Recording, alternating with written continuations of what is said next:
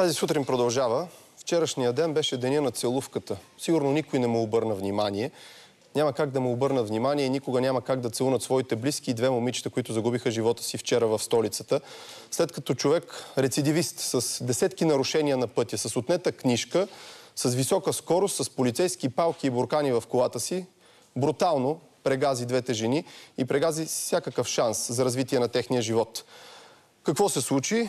В нощта на 5 срещу 6 човек с мощен джип и, както казах, с много нарушения по информация на пътна полиция и КАТ, която беше потвърдена и тази сутрин за нашето предаване, той е имал повече от 50 нарушения, различни. Пълният спектър е покрил от нарушенията, които са възможни на пътя. Той се е движил без книжка, която му е била отнета през месец юни. Движил се с висока скорост, минава на червен светофар, удря таксиметров автомобил и удря две жени, след като колата му буквално се разполовява. Защо системата допуска подобни неща? Защо не можем да свалим онези нарушители, които непрекъснато го правят от автомобилите? И защо се допуска цялото това нещо? Кой е виновен? Отговорите търсим в следващите минути с един много широк формат, който сме длъжни да направим, защото не бива да се мълчи. Диана Русинова е в нашото студио, тя е експерт по пътна безопасност. Заедно с нас е адвокат Димитър Марковски, човек, който познава юридическата част и делата, които е водил в неговата практика. Ива Екимова, човек, който се занимава с комуникации, с пиар, но и човек, който преди 14 години губи в катастрофа най-близкия си човек. Здравейте на всички. Здравейте. Здравейте. Нека да започнем с този въпрос. Как човек с 50 нарушения на пътя, без книжка, управлява автомобил и никой не може да го свали от колата? Госпожа в рамките на деня обясних няколко пъти липсата на национална политика и ще ви дам един много прост пример, защо като казвам национална политика и съвсем отговорно го заявявам. А, всички казват, той е шофирал с фалшив номер. Ами да, да, само, че ние миналата година въведохме една политика, при която това щеше да е невъзможно. Говоря за тези чипове или, допълнителни, или екостикери ги нарекоха, които всъщност са втората идентификация на автомобила и по които щеше да стане ясно, че този автомобил е с българска регистрация, а онзи е, регистрационен номер отдолу не отговаря на този същия автомобил. Това в момента е зачертано и се премахва. Тоест допълнителната идентификация и дигитализацията, за да преустановим подобни а, възможности, сега се отменя и се връщаме назад във времето. Изключително притеснителен случай. Толкова много нарушения, толкова грубо погазване на закона, естествено ни кара да питаме добре как е възможно, как държавата допуска такива хора да се движат свободно. И ние насочихме вниманието с нашия екип вчера към един много съществен проблем. Горещо насърчаваме разследващите институции да проверят дали едната от жертвите не се е возила вътре в автомобила. Защо имате подозрение за това? Защото, съдейки по това, което успяхме да видим и това, което можем да си направим обоснован извод, е, че позицията на едното от телата беше почти така надолу спрямо този, тази шахта тази жена няма как да се озовава. Ако вие блъснете, тя ще изхвърчи нагоре, както другата пешеходка най-вероятно. Ние считаме, че това е възможно, още повече по всички доказателства, които имаше на място, най-вероятно е така. Но има разследващи органи те категорично могат да потвърдят. Просто ние горещо насърчаваме да се обърне внимание на тази тела. Адвокат Марковски, как е възможно толкова време един човек, който доста по-късно е шофирал в столицата, с светлини, с такива полицейски атрибути, никой да не го забеляза и да не го санкционира и да успее да го спре преди да убие хора на пътя? Факта си е факт. Самия факт, че толкова време се е движил свободно и си е дирибейства на територията на София и на, въобще и на страната, той самия господин Семерджиев знае, а, говори за липса на ефективен контрол и превентивен контрол. Допускате ли, примерно, че за един месец шофиране без книжка не е бил спиран нито един път от полицията? Има най-вероятно, разбира се, може да гадаеме само в тази насока, но и да е спиран, очевидно е, тези спирания не са довели до желания законов резултат. Защото в края на краища един водач, нали, може да бъде с такъв брой сериозни нарушения, 50 наказателни постановления. А, има си добри способи и механизми този човек да не бъде допуснат да, да сяда зад волана. А, в края на краищата, а, когато а, има един системен контрол и когато действително има една добра очертана политика, това за което си говорихме преди малко, тогава вече не се допу... няма да се допуска такива случаи. Няма да се допуска такова а, пътно дирибействане. Госпожа Екимова, сигурно като чуете за катастрофа в новините и в новинарските емисии, разсъждавате по различен начин, тъй като сте човек, който е белязан от подобно нещо. А, първо бих искала да изразя искрените си съболезнования към семействата за загубата, защото единственото фатално нещо е загубата на човешки живот. А, и да, тук не можем да търсим аналогия между това, което се случило в моя живот и това, което се случило в живота на семействата, които са загубили тези две момичета. А, наистина искрени съболезнования, но в продължение на думите на адвокат Марковски бих искала да допълня, че всъщност ако ние сметнем, има органи, има контролни органи, има закон, наистина има закони. Проблемът е, че те не се спазват и че цялата тежест на тези закони не се стоварва върху главите на тези, които ги нарушават. А 47-50 престъпления и погазване на закона за движение по пътищата срещу всяко нарушение има съответната глоба. И тя в България, ако не се лъже, не е никак малка. Ако в Европа, да кажем, тук експертите ще ме коригират, има някакви глоби между 50 и 100 евро. В България, може би, най-низката глоба е 300 лева. Тоест, сметнете средно аритметично 47 престъпления и погазване на закон за движение по пътищата. Ако този човек поне на 10, 20, да не говорим, че след третото вече не би трябвало въобще да го виждаме по пътищата, нямаше да си позволи такова дерибействане по пътищата и такова отношение. Да не говорим, че а, взимам гледната точка като а, експерт по комуникации. По какъв начин сдобиването с синя лампа и стоп палка се отразява на имиджа на институцията, която позволява това да се случи.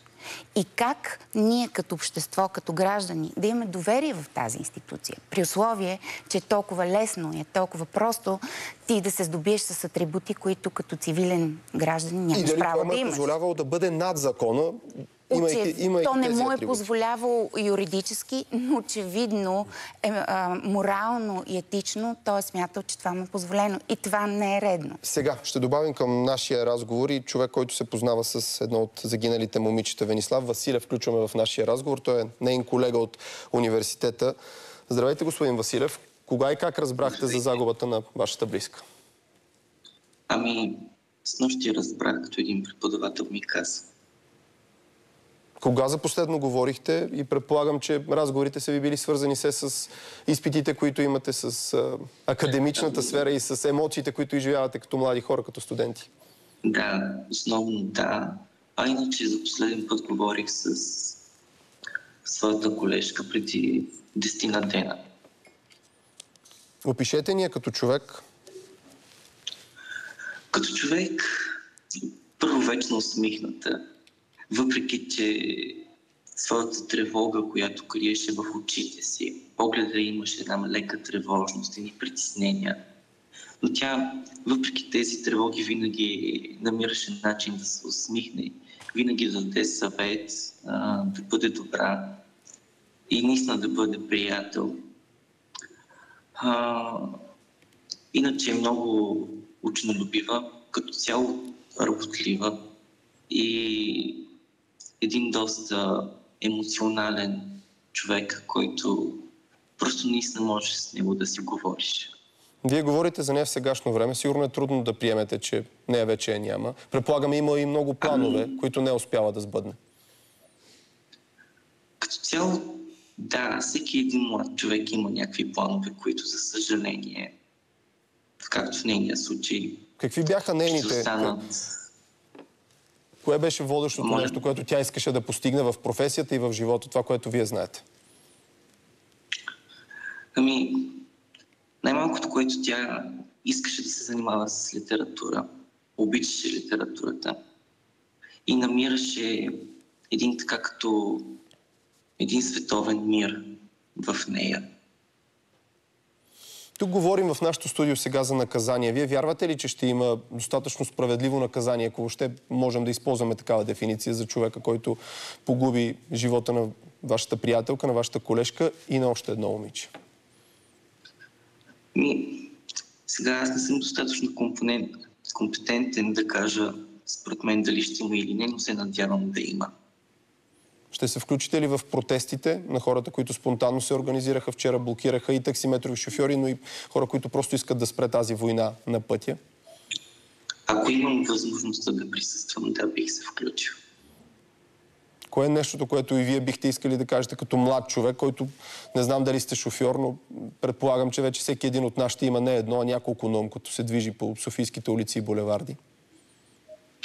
Ми, най-малкото, което хората да имат една човещина и една такава мисъл, за, една мисъл за другия.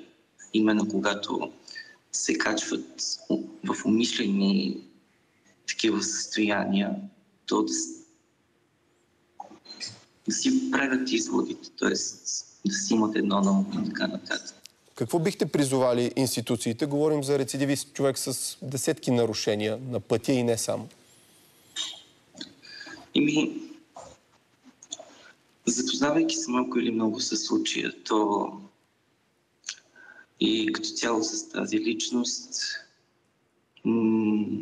не, даже не мога да си представя дали има и достатъчно наказание за него. Благодаря ви за този разговор. Осъзнавам, че думите в този момент са трудни. Осъзнавам, че сигурно никога няма да може да се запълни празнината, която оставя една толкова нелепа загуба на млад живот, но ние трябва да говорим и затова сме се събрали тук. Продължаваме и разговора и анализа. А, има ли достатъчно добър контрол през нощта? Говорим за действие, което се случва в централна градска част, в идеален център. Има ли нещо, което можеше, както се каза, малко по-рано да спре този убийствен ход на мощния автомобил, госпожо Русинов? Вие много добре знаете, че нашето мнение е, като, че като цяло в България по отношение на пътната безопасност, контролът е недостатъчен. Само, че тук има един проблем, който аз съм длъжен да го изясна. И той е свързан с това, че за да имаме достатъчен контрол, ние трябва да имаме ясна национална политика, която да каже кой контролиращ орган какво точно да прави при различните ситуации. Същия този орган трябва да осъществява мониторинг дали мерките и препоръките, които са дадени, дават резултат. Аз лично съм против винаги да се прехвърля цялата отговорност само върху път на полиция, тъй като те са изпълнител. Те не са органа, който може да си измисли националната политика, да си я прилага и да следи дали тя се изпълнява. Този орган трябва да бъде Държавната агенция, която всички знаем, че е пряко подчинена на, директно на министър-председателя и тя следва да изработва тези мерки и да следи така, така поне по устройствен правилник и по постановлението, с което тя е създадена, това са нейните цели. И тогава, когато тя изработи тази национална политика, тя може абсолютно адекватно да следи дали пътна полиция, дали е изпълнителна агенция автомобилна администрация или която и да е друга институция, си изпълняват правилно функциите. Ако има дефицити, лично да отиде при министър-председателя, който да разпореди на министра на вътрешните работи какво следва да се случи от тук на след. Адвокат Марковски, нарушения, наказания с толкова много нарушения, ще бъдат ли сумирани? Те какво наказание очаква този млад човек? Ще бъдат сумирани. Ако гледаме юридическата експертиза на казуса, чисто казуистично, нали, с изключение на изключително сериозната трагедия за семейството на, на тези две. Те са практически деца. А, тук имаме един сбор от, няко, от множество престъпления. Оставаме на страни тези 50 наказателни постановления, които задължително по закон ще, ще бъдат а, обстоятелство, което е свързано с наказателната отговорност. Тоест, поведението на един а, водач а, е свързано именно с тази справка за административни нарушения а, там съда в край на краищата си прави крайните изводи за обществената опасност на самия деец, т.е. на човека, който е извършил престъпление. Но тук ние виждаме един букет от деяния. Първо, а, знаци на полицията, които са забранени. Това само по себе си представлява престъпление. Стоп палката и синия буркан. Второ, а, ориентираме се, че той кара с а, други регистрационни табели, а не от това превозно средство, което е второ престъпление. И вече третото, самото най-тежко извършено престъпление е причиняването на смърт на, на тези две деца.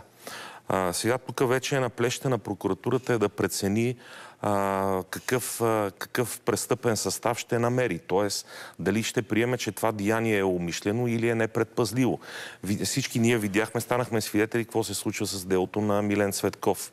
Видяхте, че съда на практика не прие тази теория на прокуратурата, че става въпрос за умишлено деяние, макар и в а, условията нали, на Ако не приемат това, не, не приемат, че има умисъл или не бъдат сумирани всички тези неща, кое е най-лекото наказание и съответно кое е най-тежкото, което допуска закона? Сега, принципно, а, ако се приеме, най-вероятно този случай в, при всяко едно положение ще бъде квалифициран като особено тежък.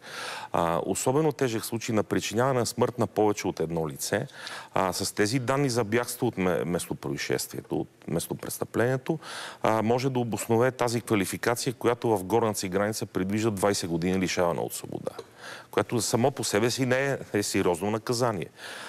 Нали, но вече, пак казвам, в плеща на прокуратурата, ако приеме, че е умишлено, тогава вече там може да се стигне и до много по-сериозни горни граници. Това е човек с 50 нарушения на пъти. Госпожа Екимова, като човек, който се занимава с комуникации, с послания, защо сте толкова много кампании на държавата, на различни институции?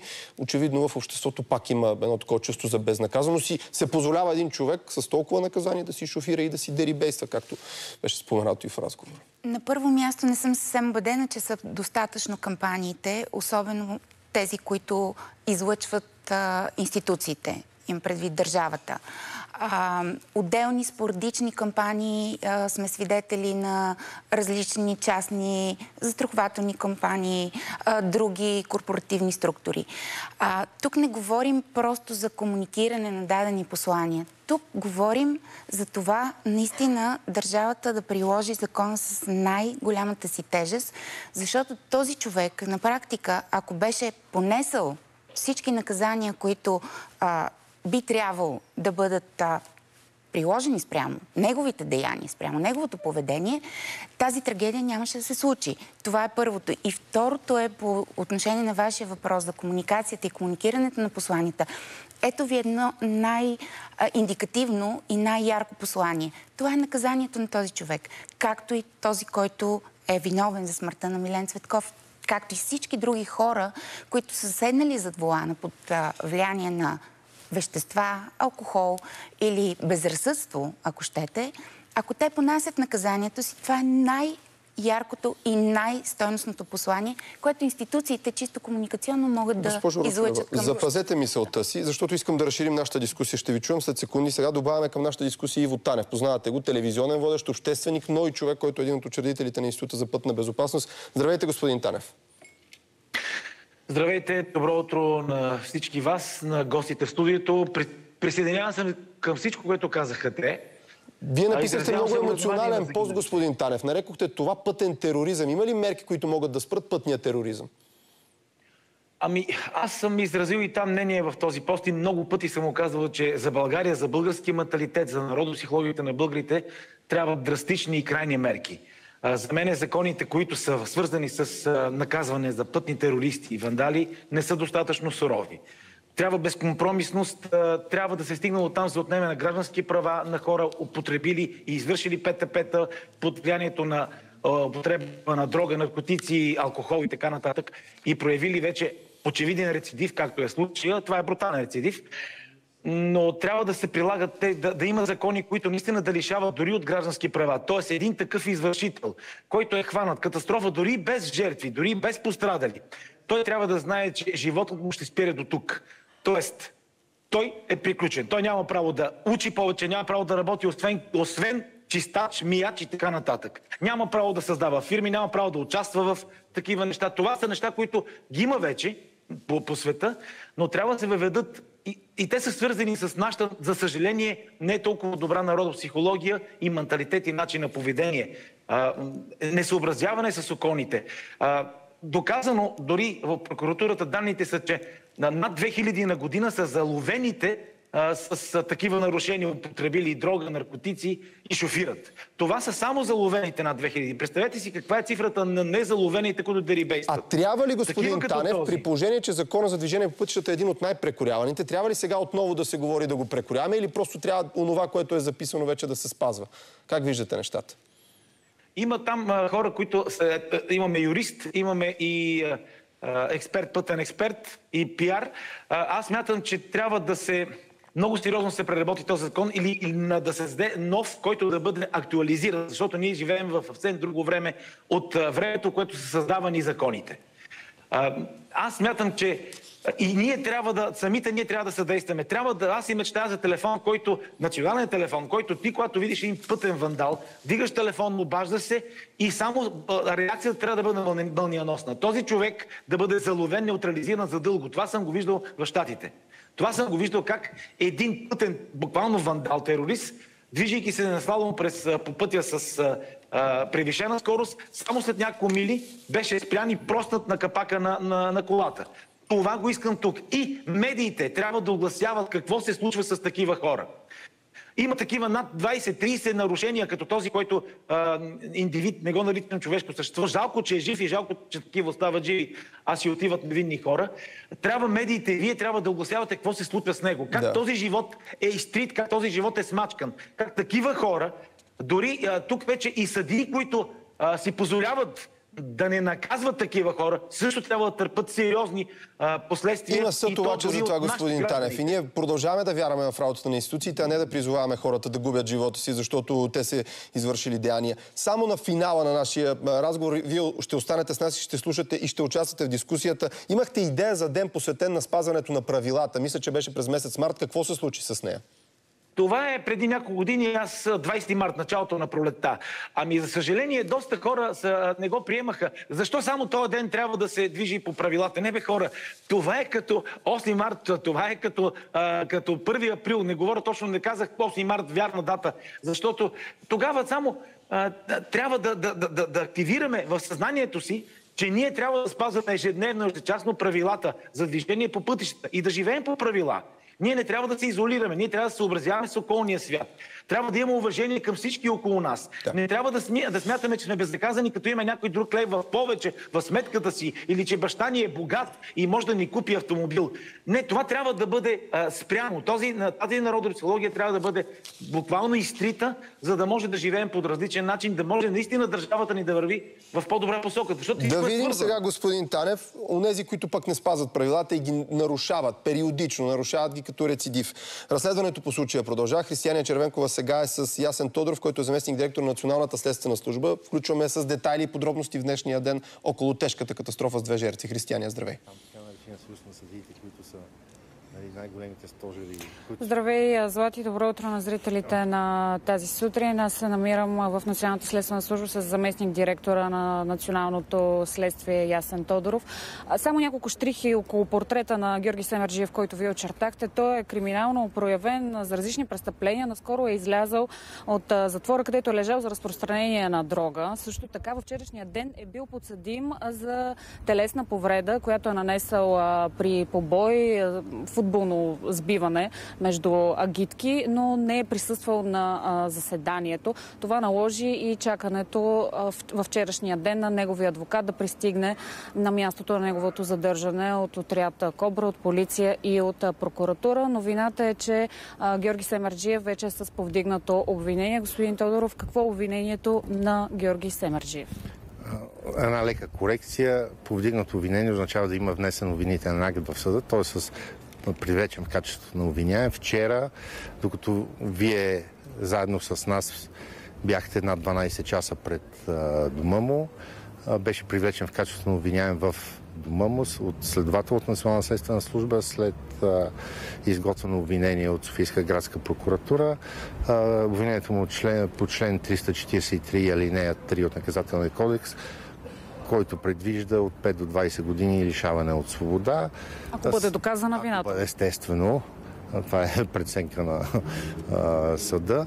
А, след извеждането му от дома, той беше а, закаран в МВР болница, където да бъде освидетелстван, да се види дали а, може да пребива в арестните помещения, дали това няма да е проблем за неговия живот, защото предполагаме, че той е участвал в тази катастрофа. Не може да го твърдим, докато не не съберем всички доказателства и в момента се намира тук в сградата зад нас в следствения арест. Вчера, вчера казахте, че първите впечатления са били, че той е в неадекватно състояние. Ми, Открихте да. ли амфетамини в жилището му?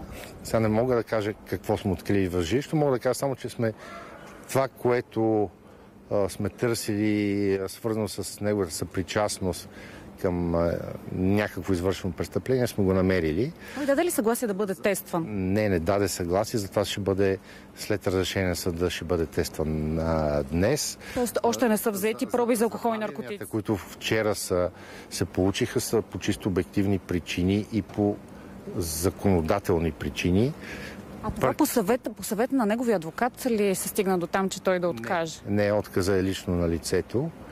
А, аз съм най-доволен от това, което свършихме е, вчера, че за изключително кратко време, в рамките на половина един час, успяхме да установим местонахождението на лицето, да локализираме адреса, да подсигуриме специални сили на МВР, с които да проникнем в жилището, което беше доста рискова операция, с оглед на това, че имаше оперативни данни, че лицето може да е въоръжено да окаже съпротива.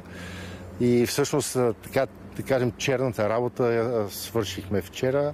Но предстои още много работа, като, като пробата работа за и- алкохол и наркотици. и Господин с- Тодоров, а дали ще бъде установено все пак количество, ако има такива субстанции в кръвта му, ако след няколко дни бъде взета тази Тя ще проба? бъде взета днес, когато разреши съда. и Всичко ще бъде установено. Все пак а, а, техниката е на такова ниво вече, че а, това няма да е а, проблем за разследването. Предполагам, че лицето ще се, си има защитни версии, които той адвоката му ще а, ни предложат, но а, въпрос, всичко е въпрос на доказване. Най-важното е, че изолирахме вчера това лице от обществото, защото а, лично според мен щеше да е много опасно за много хора, ако той а, беше на, останал на свобода. Той в продължение на години е карал с отнета книжка, а, с фалшиви регистрационни номера. Има над 50 нарушения на пътя. А, прокуратурата, следствието и МВР работят в координация,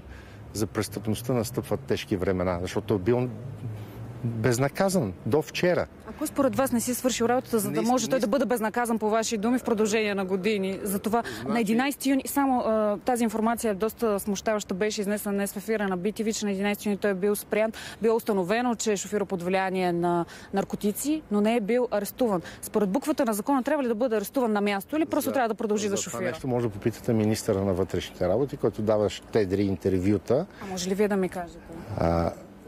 Когато Национална следствена служба се зае с този случай, ние установихме на, за по-малко от час лицето и го задържахме пред вашите очи. Нали?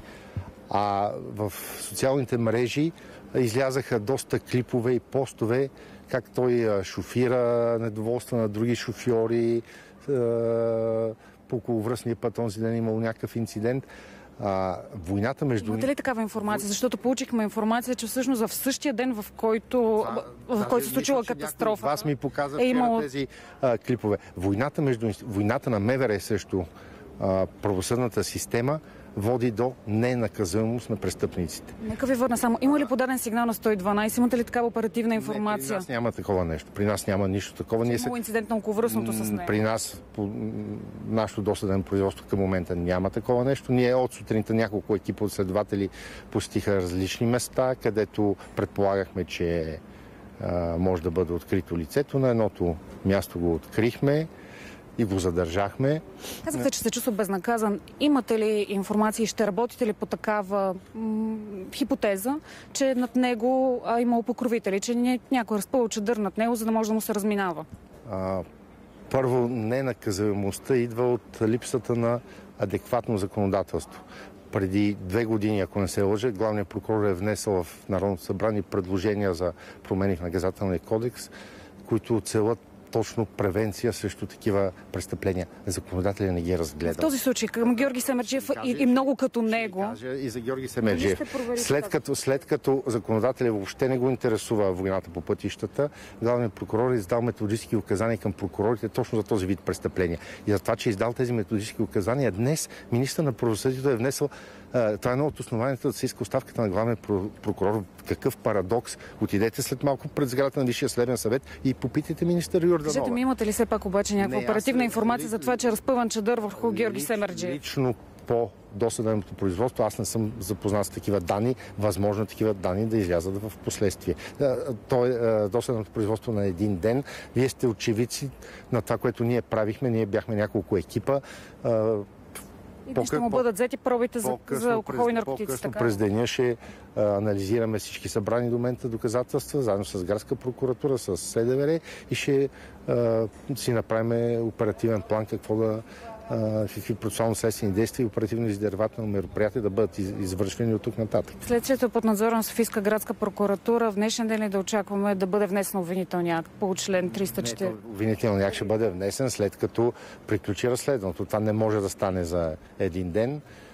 Законовия срок е два месеца. Сега предполагам, че ще е Колко време ще чакаме, докато бъде внесен обвинителния акт? Значи, а, каквото зависи от следователите от Национална следствена служба ще бъде направено в най-кратки срокове, но тук има Днеска ще бъдат назначени няколко много специфични експертизи, които трябва да установят скоростта, самото, да изяснат механизма на ПТП-то.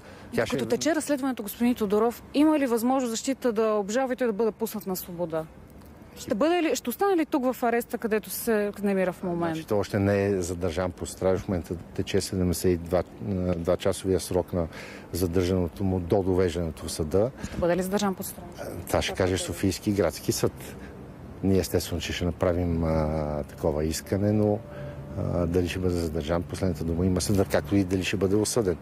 А, аз не мога да, да взимам страна в началото на разследването. Ние сме длъжни да проведем обективно и всестранно и пълно разследване.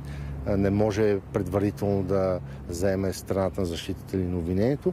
Гарантирам, че разследването, което ще бъде проведено тук в тази сграда, ще бъде обективно, всестранно и пълно. Добре, господин Тодоров, много ви благодаря за тази информация. Както разбрахте, днес ще бъдат взети проби от Георги Самарджиев за това дали е шофирал под употреба на алкохол и наркотици. Той се намира тук в следствения арест на Геме Димитров.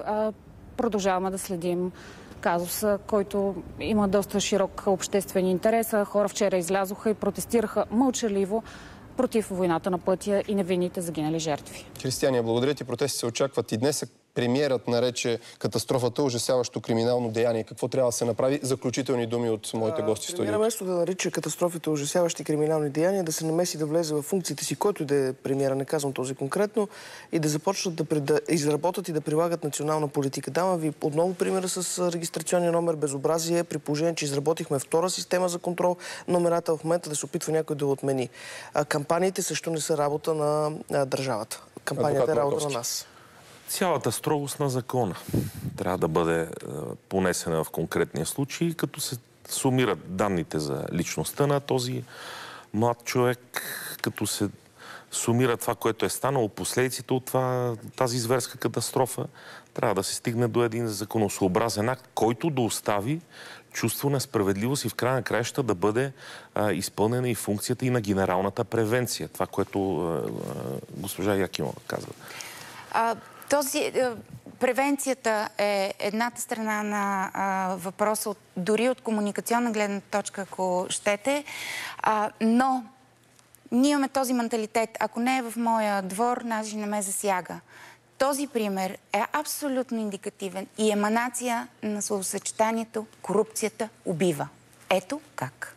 Господин Танев, да чуем и вас на финала на този разговор. което каза Ива, абсолютно вярно. Тъжното е, че само след няколко дни говорене и приказване всичко ще изтлее, ще забравим до следващия такъв грозен случай. Защото сме такива явно. Не може да продължава това нещо. Аз съм дал и проект за телевизионно предаване за пътна безопасност и то харесано от всички, но никой не откликва. Ива е много правилна. Менталитета ни е такъв. Трябва да променим чипа. Трябва да променим начина на мислене. Защото след няколко дни, като не се случи на нас, не се е случило на нас, забравяме, докато не се случи следващото такова отвратително нещо. Благодаря ви. Беше важен този разговор.